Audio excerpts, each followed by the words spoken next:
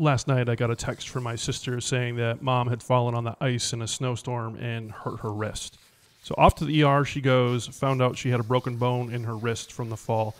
She'll be okay thanks to the medical doctors and nurses that cared for her. This is the grave of Wilbert Bond, one such medical doctor that cared for his patients. Born in Milwaukee, Wisconsin, May 7th, 1898. Together with his wife Elizabeth, they had two children, Thomas and Barbara. Dr. Bond was a Des Moines area physician and surgeon for 20 years in practice with his father, Dr. Thomas P. Bond, and brother Lieutenant Thomas A. Bond. Lots of Thomases in this family. He died at age 46 of a stroke.